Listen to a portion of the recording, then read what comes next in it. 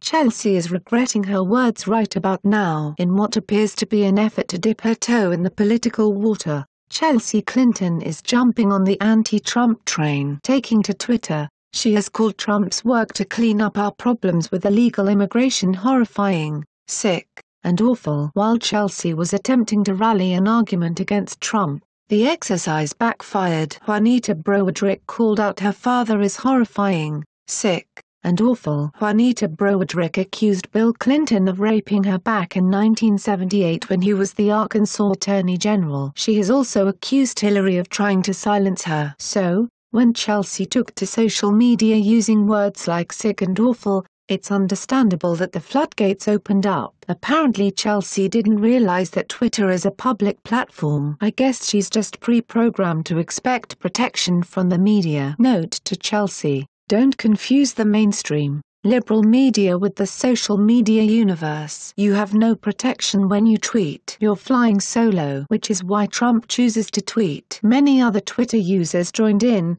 speaking of Clinton's parents, calling their integrity into question over all kinds of issues. What would possess Chelsea to engage in such banter? If I had her parents, I would be bowing my head in shame right now. Besides, the entire discussion about Trump and his ban on Muslims is a farce. It is all fake news. Trump is neither anti-Muslim nor anti-immigration. Everyone but the low-information citizen knows that. Trump's temporary travel ban is both constitutional, which the SCOTUS will eventually proclaim, and wise. Pardon Trump for protecting the American people. It's about time our borders got an overhaul both the physical and cyber borders. Chelsea Clinton surely knows that. She's no dummy, although these tweets make you wonder. Chelsea is well educated, the best stolen money can buy. She has also been a fly on some despicable walls, She's learned from the best. The Clinton Foundation is falling apart. Hillary got her clock cleaned and may or may not still be under investigation. No one from their family should feel capable of criticizing the Trump administration. It appears that Chelsea has now deleted her initial tweet. Good,